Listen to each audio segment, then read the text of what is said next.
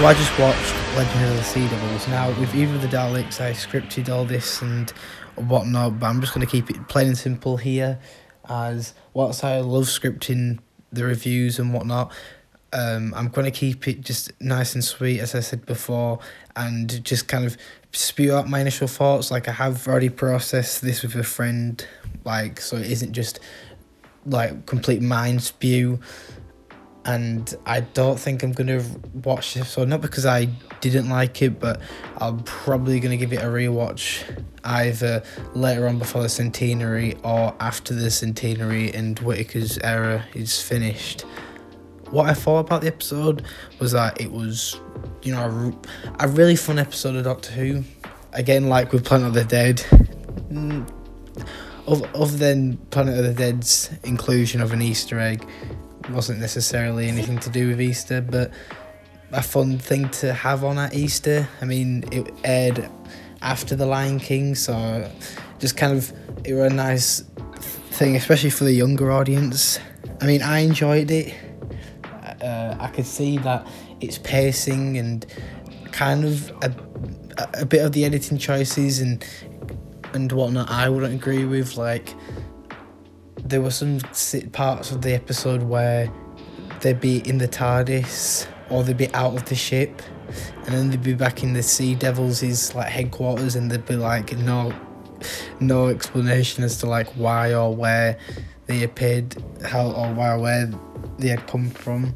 So wasn't necessarily a bad thing, it's just more precision within its editing and whatnot. Just even the simple thing of them being like, oh, let's sort off back to the Sea Devils thing and finish it off.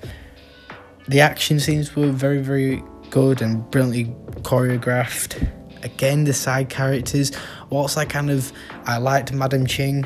Um, I'm not really into history, but I like Madam Ching, and you know I liked how they kind of had uh, her and um, again initial thoughts. So I really don't know.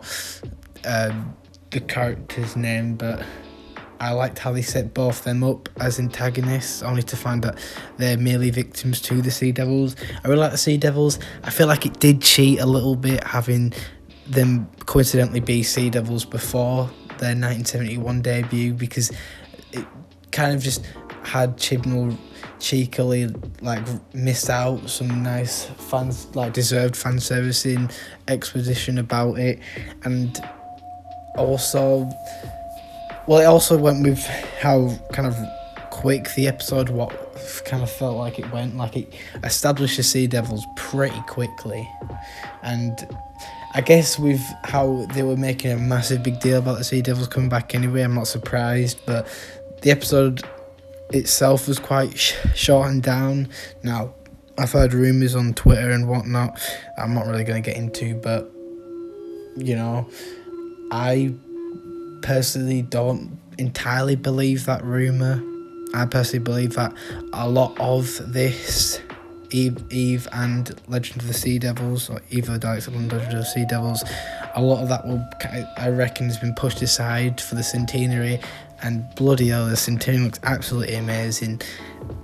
I absolutely can't wait for the centenary special. Like we got the return of spoilers here Ace and Tegan, and the, the Ashad's back, which I'm happy that they haven't just let him get killed off because I think the way he were executed in Timeless, Child, uh, Timeless Children was so underwhelming, honestly. But yeah, the only thing again is that the BBC Doctor Who team, the marketing and whatnot, are brilliant at doing what they're doing, but in a story like that, where we're already wanting to process a very kind of quick paced story itself, to then be bombarded with bigger news and potentially ones that the fans be more important with. I know it's unfortunately like the way that things have to be now, especially with an era that isn't entirely liked, and that the, the names Tegan and Ace and uh, Cybermen and Daleks will kind of bring more of an outside audience in that's the only thing I'd say because it would kind of the same thing with of the Daleks, and that's kind of why I don't necessarily want to be scripting scripting this. I perhaps will eventually get around to doing an in-depth review of it, but here's my initial thoughts. Um, I don't really need to process it because I kind of understood what the episode was and I guess its intentions and whatnot. But I had fun with it. It was a nice thing to have on an Easter night. It's nice to see Doctor Who on again.